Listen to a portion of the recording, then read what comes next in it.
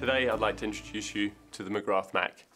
And uh, I'd like to first show you uh, an intubation using our Mac 3, a Macintosh style blade.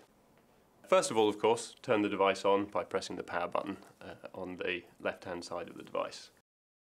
Then when intubating the patient, start by placing the tip of the blade into the right hand corner of the mouth. As you advance the blade into the mouth, slowly sweep the tongue to the left, placing the blade more in a midline position as the tip then slides into the vallecula of the anatomy. Once the epiglottis is showing on the screen, simply lift as you would with a DL device until you have a good view of the vocal cords.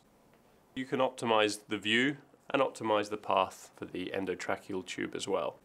At this point, it's time to advance the tube.